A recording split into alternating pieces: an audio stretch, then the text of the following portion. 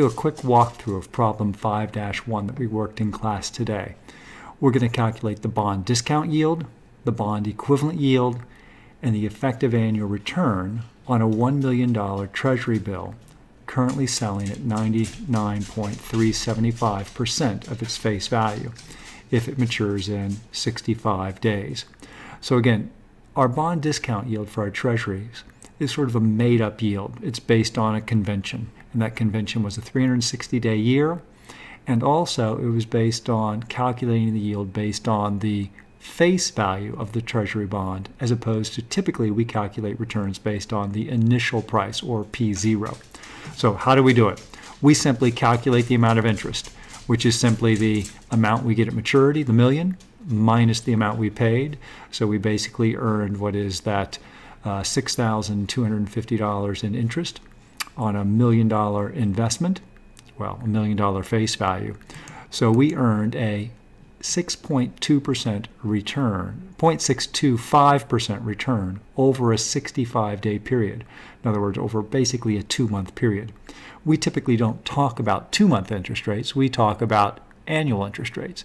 In this case, our annual interest rate is based on a 360 day yield year.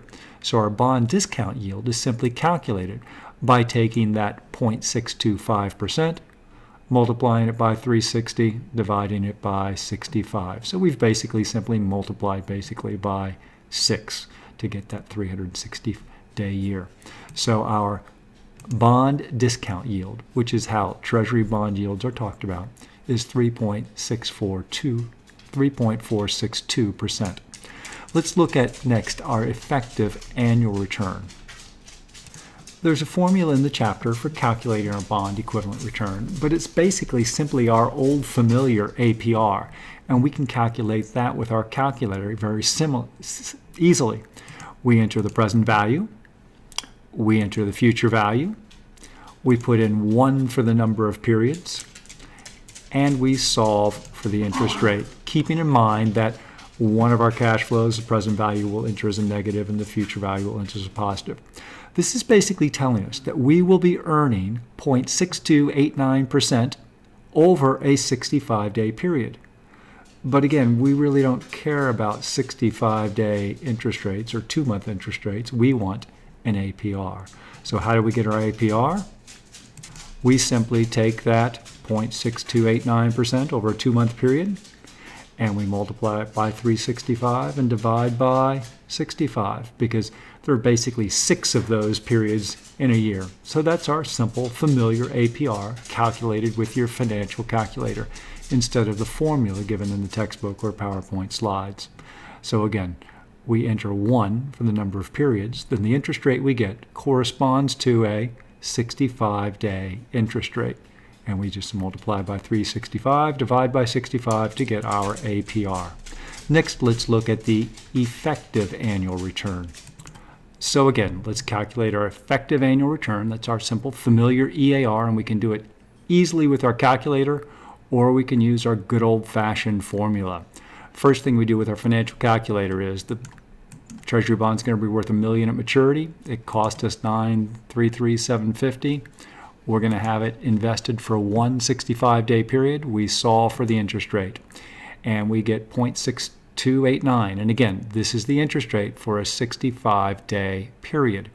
If we want to use our algebraic formula for our EAR, again, we simply typically take what? The APR, divide it by the number of compounding periods. So if this is 18% per year, we would do 18 divided by 12 and take that whole thing to the 12th period power.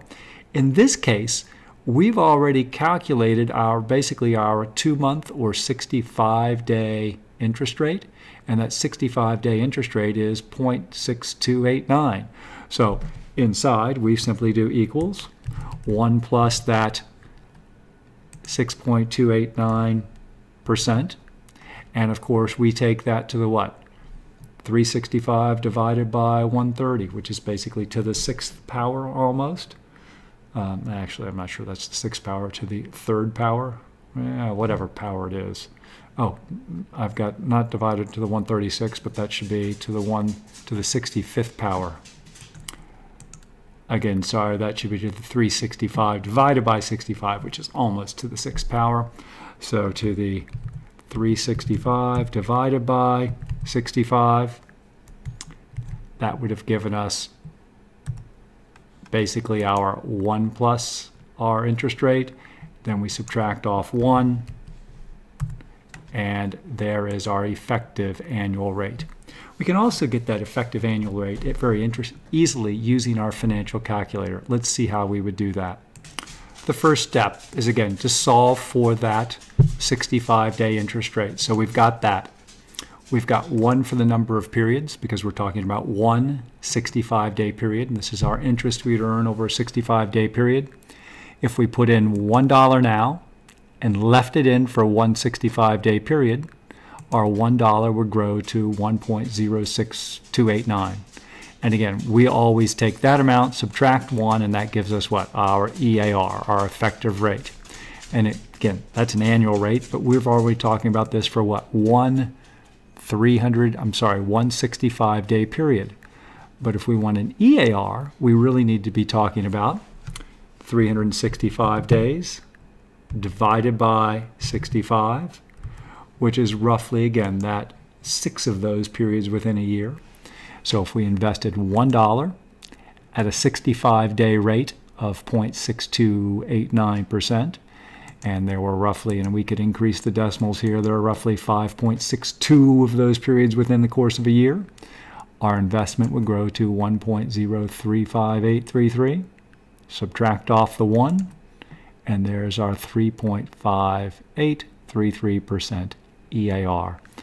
There's a video in D2L discussing further that conversion of an APR, which would have simply been this rate multiplied by 365 divided by 65 to an EAR. So make sure you're conversant with that.